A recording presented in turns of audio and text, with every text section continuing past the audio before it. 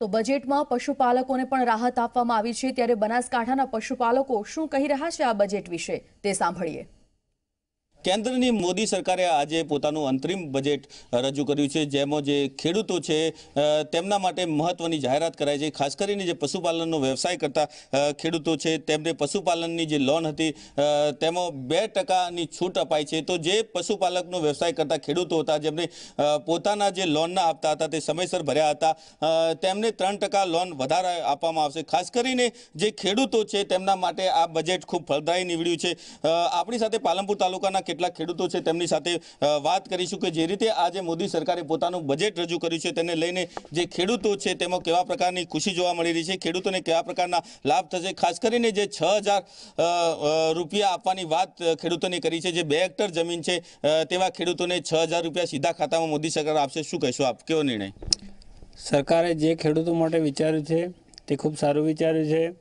નાના ખેડૂતને આનાથી મોટો લાભ થશે. જે ખેડૂતોએ ગાયો ભેંસ માટેની લોન લીધી હતી, એમને પણ બે ત્રણ ટકાની છૂટ મળશે તો ખેડૂતોને ફાયદો થશે. પરંતુ હજી થોડી ઘણી ખેડૂતોમાં એ અસંતોષ છે કે વધારે જમીનવાળો ખેડૂત હોય તો તેને પણ આ કટોકટીના ધંધામાં પોસાતું નથી. તો બે હેક્ટર સુધી તમામ વર્ગના ખેડૂતને જો લાભ મળે, તો એ ખેડૂત નિર્ભર થઈ શકે. અને બીજું છે કે પશુપાલનની લોનમાં બે ત્રણ ટકા વ્યાજ ઓછું છે, એ ખૂબ મોટો ફાયદો છે. પરંતુ એની સામે જ્યારે બેંકની લોન લેવા જાય ખેડૂત ત્યારે એને ફરજિયાત વીમો ભરવો પડે છે. અને વીમાનું ભારણ ખૂબ મોટું હોય છે.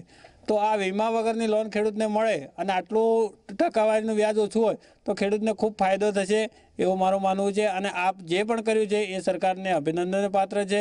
ખૂબ સારી કામ કર્યું છે અને ભવિષ્યમાં પણ સારું કરશે એવી બધાને અપેક્ષા છે.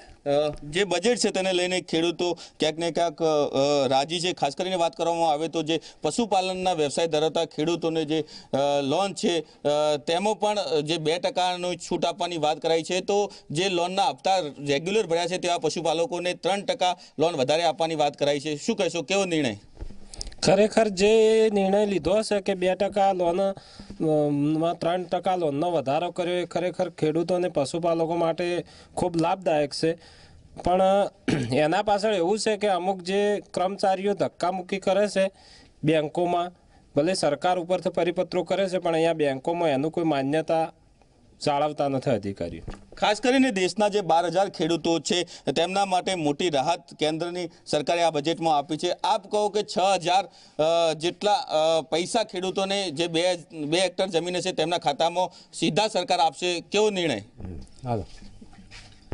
અન્ય કેટલાક ખેડૂતો છે તેમની સાથે પણ વાત કરીશું.